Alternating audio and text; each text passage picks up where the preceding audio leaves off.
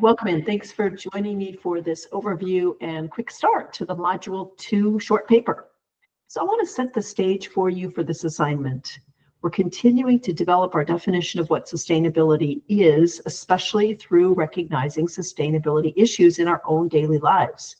So this writing assignment gives you an opportunity to examine some of the sustainability issues in your own daily life and to consider the impact they may be having. So let's get started here. For this short paper, you're asked to write about two prompts. The focus is on the impact of an organization, the impacts an organization can have on human behavior.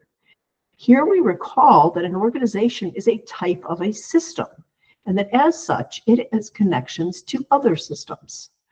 First, you're going to identify an organization to focus on. You'll want to pick one where you can identify the impacts the organization's practices have on human behavior. Then after describing the impacts it has on human behavior, you'll identify the behaviors it encourages and discourages by explaining how the organization accomplishes it. So I know sometimes picking the organization can be the hardest part of this assignment. So I want to give you an example. The example I want to share with you is an organization called White Oak Pastures. White Oak Pastures is a sixth generation farm. It's in Georgia, and it began as a traditional farm and ran as a traditional farm until just a few years ago when the fifth generation farmer, by the way, his name is Will Harris, began to practice regenerative farming, land management, and humane animal husbandry. The result has been a revitalization of the entire community. The changes the organization made have encouraged other farmers to shift their practices to more sustainable land and animal management, and they've led to the development of a customer base that now consumes healthier products. They've provided a large number of jobs in the local community, and they've discouraged the use of pesticides and erosion producing land management. See how I did that? Now it's your turn to dig into an organization and see what you can discover. The second prompt in this assignment asks us to identify whether the organization takes an ego or eco approach to leadership by providing examples. The examples should focus on the specific behaviors that the organization uses that suggest the ego or eco approach. Then, thinking about the sustainability of the organization, practices does the organization employ that foster its ability to persist into the future? So again, as the example, in the case of white oak pastures, I think it's almost all about eco with a tiny bit of ego thrown in. Here's why. The transformation of the farming operations from traditional to regenerative were done with the goal of the farm becoming not only carbon neutral, but actually carbon negative. Yep, carbon negative.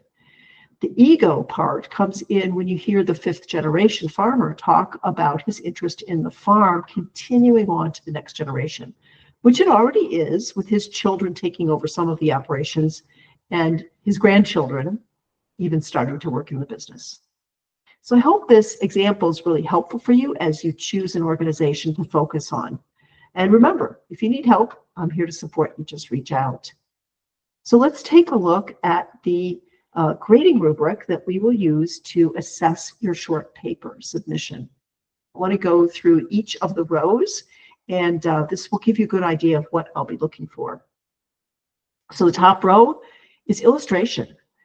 I'm going to look for how you describe the organization you chose.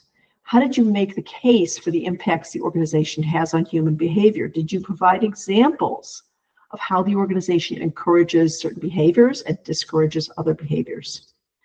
Next row down, ego or eco. Did your explanation of how the organization uses an ego or eco approach to leadership include examples of behavior that support the approach? And how well did you assess the likelihood the organization will persist into the future? So the last two rows, clear communication.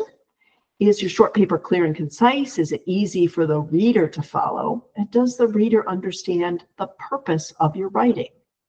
And then the last row here, citations and attributions. Were you able to cite your sources when needed? Remember, we're going to use an APA format here. So if you have questions about when and how to cite your sources, there is a really great resource called Citing Your Sources. It's on the Shapiro Library, or you can reach out to academic support or reach out to me for help, either way. All right. Thanks so much for joining me for this uh, Module 2 short paper overview and quick start. I'm here to support you. Reach out if you need help. Thanks very much.